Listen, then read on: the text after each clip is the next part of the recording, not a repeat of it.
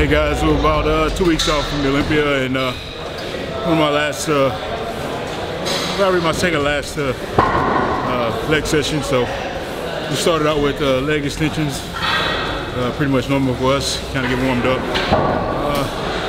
You know, despite what a lot of people believe, two weeks out you don't really push your body 100% because you're not going to really grow any muscle in a caloric deficiency.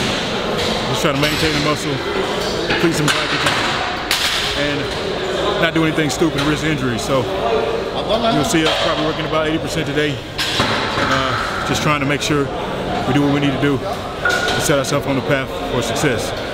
Not coming to the Olympia beat up, tired, overworked, and uh, still trying to recover.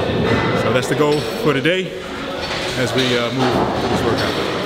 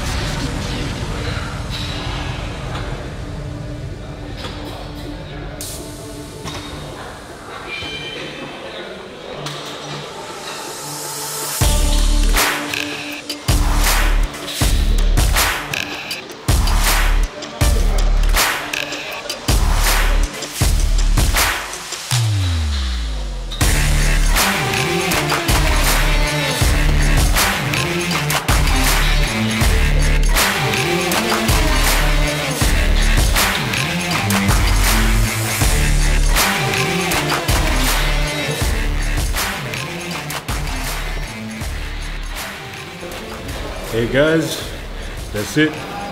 Finished with another leg session.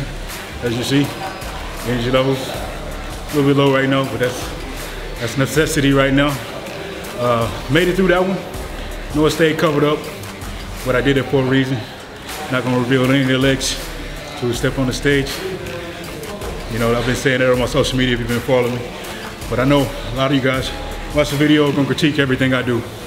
And and tell me that it doesn't work, it's no good, this and this and that. I understand that.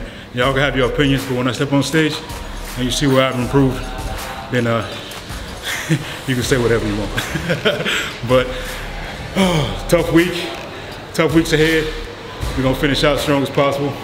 Be smart, try to stay away from injury, try to stay focused, uh, and do what we can to kind of polish this physique off. Come to this show fresh, not beat down, and ready to perform to the best of our abilities. Thanks for tuning in to Gorilla Wear YouTube channel. More to come from us guys. Hope you enjoy.